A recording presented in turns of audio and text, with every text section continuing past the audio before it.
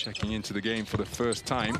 Oh, that's a heavy fall, leaving Tuncer wide open for the deep three, and he drills it. Bugrahan Tuncer. One final shot, perhaps, for Anadolu Efes.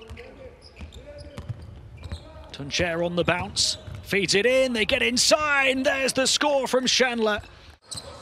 Larkin working with Singleton, Tuncer, shot clock winding down on him again, little up fake, trying to take the ring road around the defense, and he does beautiful offense from Bugrahan Tuncer.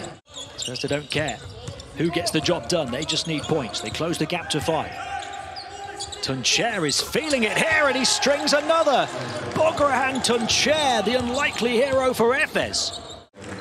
Simonovic called for the foul there. This is Bugrahan Tuncer, who is in the mood tonight.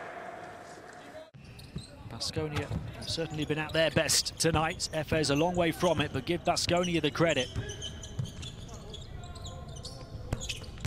Deep three-point shot for Efes will go. That's a terrific pass. Oh, it's perfectly measured. Right over the back of the defense. Still in search of their first lead of the game. Tuncer checks the three-point line, and that will be a maximum for Bugrahan Tuncer. So Sanli gives it to Tuncer. Beautiful feed, and Sertac Sanli continues to feast on the inside. Unit, this alternative unit from the starting five, are lighting up Khimki Moscow. So Zaitsev has it broken up. Tuncer touches it to Rodrigue Beaubois. Tuncer hops it up for James Anderson, and James Anderson finishing in transition.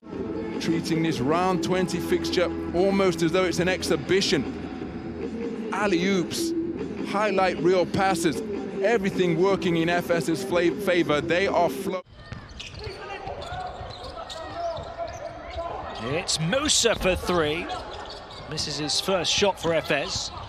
Oh, what a pass into Moerman behind the back from Bugrahan Tuncer. Londrinoko can really improve Crvena Zvezda, but what about that pass? The razzle-dazzle assist.